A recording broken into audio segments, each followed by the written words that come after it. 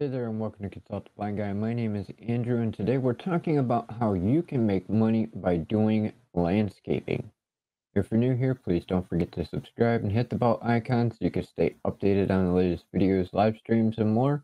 If you're a member of the Consulting Crüe, welcome back. I hope you enjoyed today's episode. Let's get to it.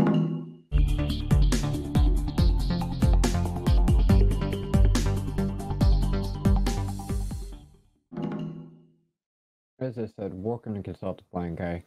Today we're talking about how you can make money by doing landscaping. Now, I myself have done landscaping when I was younger and it's very simple to do and it can be quite profitable. Landscaping can be an assortment of different services that you offer. It includes, but is not limited to, mowing lawns, edging grass along driveways and sidewalks, trimming hedges or bushes, planting flowers, trimming trees, or putting things around trees for barriers or borders. There's a number of different things that you can do for landscaping. If you're doing this as an individual, it can be very time consuming to do it alone and if this is something you're interested in doing, you could potentially turn this into a full time business and scale up as time goes on and make more of a profit. Now, when I was younger and used to do landscaping with one of my friends and his father, they had their own business and we got paid fairly handsomely by the hour. And we did everything I just mentioned a moment ago. We were even contracted by our city to go out and plant flowers in the median along roads. Not only did we do privately owned properties, doing cutting of grass, doing edging and trimming of bushes and trees and things like that, but we also planted flowers for private homes as well as for the city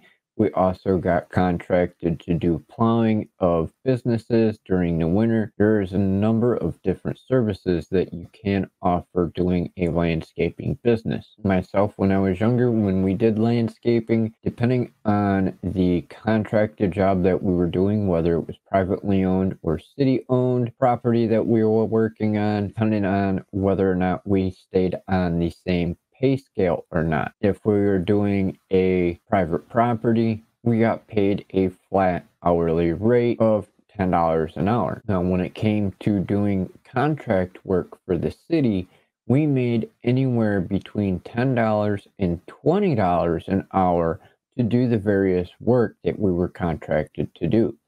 And when it came down to the number of people working on these projects varied depending on what it was that was needed and the amount of time that we had to do it in.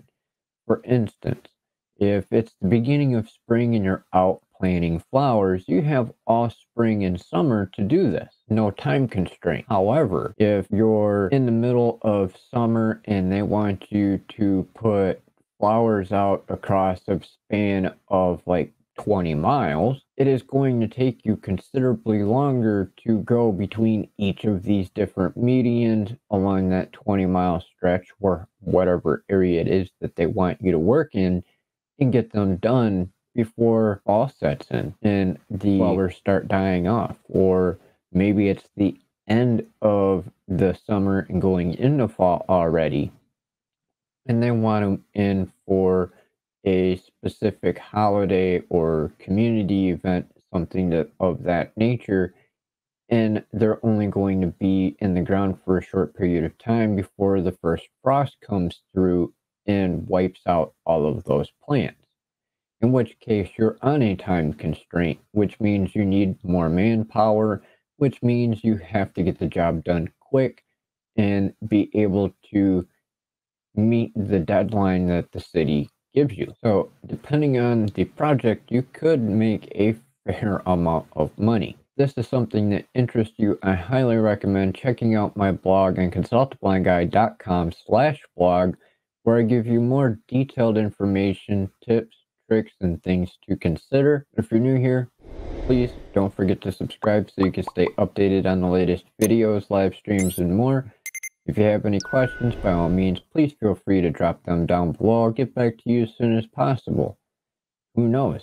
Maybe that question will be the topic of a future video.